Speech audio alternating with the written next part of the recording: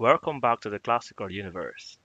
Today, we are going to be looking at time dilation, which is the cornerstone of Einstein's special theory of relativity. We shall examine the time dilation formula and point out some downsides. Imagine two observers, one in a bus that is moving at speed v, and the other standing on the side of the road. The person in the bus throws a ball vertically upwards with speed u. Since both this ball and the observer are already moving horizontally at the speed of the bus, the observer in the bus will not notice the horizontal speed of the ball. All he will notice is the speed in the vertical direction u. So, he sees the ball go up vertically and hits the top of the bus, traveling a distance h. So from his frame of reference, he says that the time t naught that it takes the ball to hit the top of the bus is given by the distance traveled divided by the apparent speed u. However, the observer on the road will not observe the same thing. Since he is stationary with respect to the bus, he will notice both the horizontal and vertical speeds of the ball. And both the person in the bus and the person on the road will see the ball strike the roof at the same time. Remember that the horizontal speed of the ball is given to it by the bus, and this is equal to the speed of the bus, which is v. The vertical speed, on the other hand, is provided by the person on the bus, which is equal to u. Because of these two speeds, the observer on the road will see the ball trace an inclined path like so with a speed w which is equal to the resultant of the two speeds. So, the observer on the platform sees the ball travel a longer distance s to hit the top of the bus. In his frame of reference, the time t1 that it takes the ball to reach the top is equal to the distance s over the speed w. Look at the diagram. By the time the ball hits the top of the bus, traveling the height h, it would have also moved a horizontal distance v times t1. So by Pythagoras, we have s squared equal to v times t1 squared plus h squared. But s is also equal to w times t1. So this equation can also be written as follows. Making T1 the subject of the formula yields this. You can pause the video here and try to derive it to confirm. It is at this point that Einstein made a radical assumption that led to the time dilation formula. In Einstein's thought experiment, he used a light beam in the place of the ball. He radically assumed that the light will travel at the same speed both when it is traveling vertically and when it is tracing the inclined path. The idea that something can, can travel a longer distance at the same speed in the same time without any energy addition baffles me deeply. But let me leave that for now, as I will address it in the later part of this video. In that case, u is equal to w, which is equal to c, speed of light.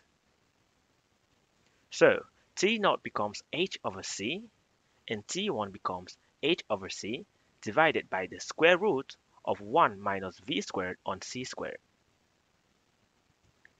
So we see that T1 is equal to gamma T naught, where gamma is equal to 1 over this square root. And this is the time dilation formula. This formula is the cornerstone of special relativity and is based on the assumption that light will travel at the same speed in both cases. Now let's look at the motion of the light beam in more detail. I wish to, first of all, reiterate the fact that we arrived at our formula by examining the interaction between the ball and the bus. The big question now is, since the bus is able to interact with the ball to add its speed, does it also interact with the light in the same way or in any other way? The answer to this question is either a yes or a no. Since our whole analysis has been based on this interaction, it is the answer to this question that will determine the validity of the special theory of relativity. I am going to pretend not to know the answer and just work out the problem for both cases. The case of no interaction. Let the light source be a bulb fixed to the floor of the bus. When the switch is closed, the light spreads out in a sphere and travels in all directions at speed c.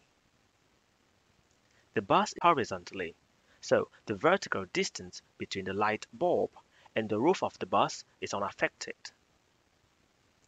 The medium through which light propagates, being it the ether or whatever, is stationary with respect to the bus.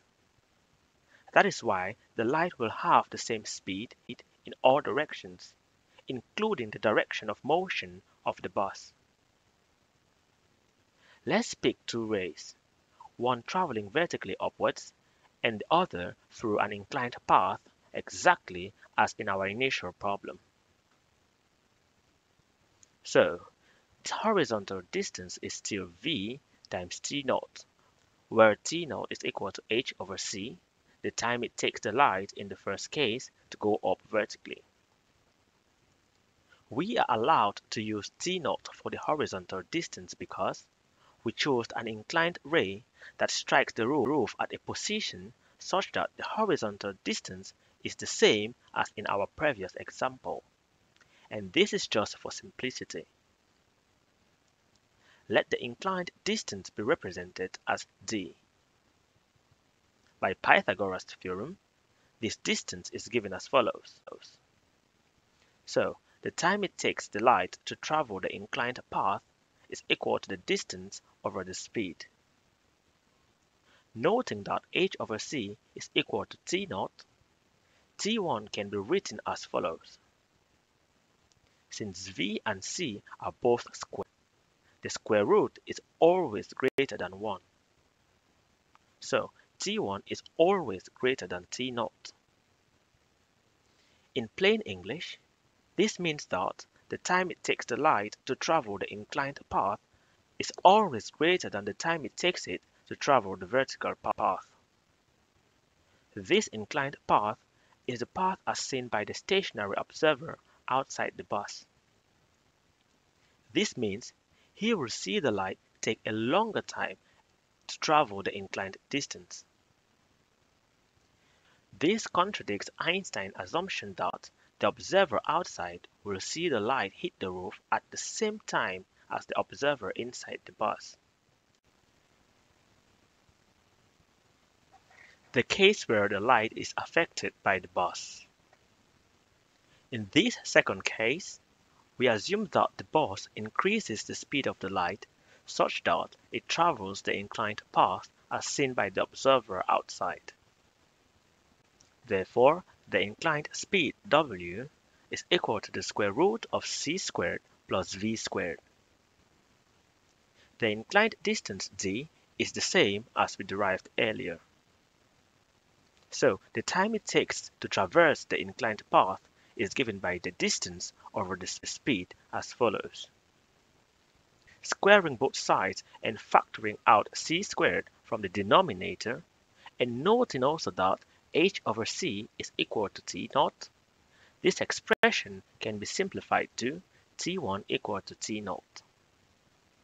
So the only condition in which the observer outside the bus will see the light hit the roof at the same time as the observer inside the bus is if the bus increases the speed of the light, and this violates Einstein's first postulate that the speed of light is constant in all reference frames.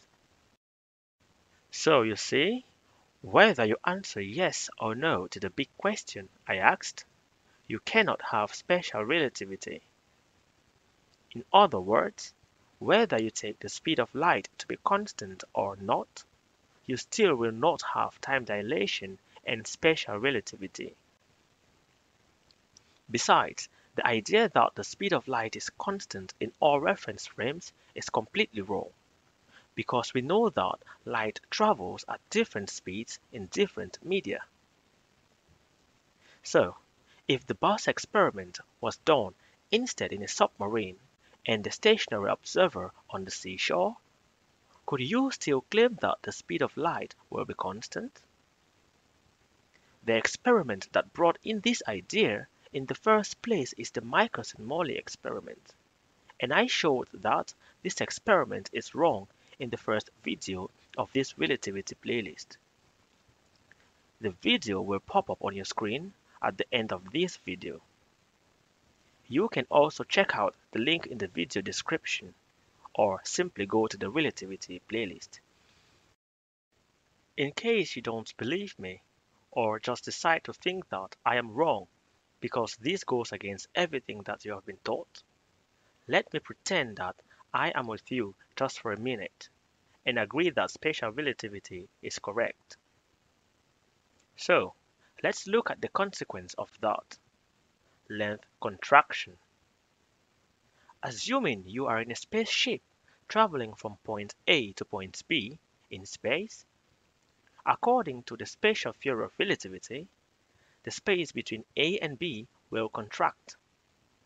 That is, fold in on itself to make the separation shorter so that at your same speed, you complete the trip in a shorter time. According to general relativity, space is a real thing that is malleable. If the space between A and B contracts, where did it get the energy to do so? because in general relativity, mass provides that energy. If you ask your lecturer this question, he will say, no, no, no. The space in between A and B only appears to contract according to the person in the, in the spaceship. At this point, I will ask, how can you travel an apparent distance in real time? Do you see how they mix things that appear to be and things that actually are? Same as a stick immersed in water that appears to bend. But does it really bend? If it had to, then it will require some external energy. If you in the spaceship perceive and believe that the distance you will travel is shorter, no problem but your ship must travel the actual distance between point A and B regardless. This idea of perception almost caused me to drown when I started learning how to swim. I stood in front of a pool that was, was about 2.8 meters deep, but I didn't bother to check the depth because the water appeared shallow to me. But when I dived in, I realized I kept sinking. So I cried out with a loud voice, like Peter cried to Jesus during the storm, and I was rescued. So, even though the height appeared shorter, I still had to travel the actual distance because that is the reality. Your spaceship will do the same. This means space does not actually contract simply because you are moving. So special relativity is wrong because that is what it predicts. This is the same thing with time dilation if we were to assume that special relativity is correct. There are many other paradoxes that I can derive from this theory. So I leave you with this quote of mine. Any theory that leads to a paradox is wrong, or for the most part, incomplete. That is all for today's video. See you again in the next video.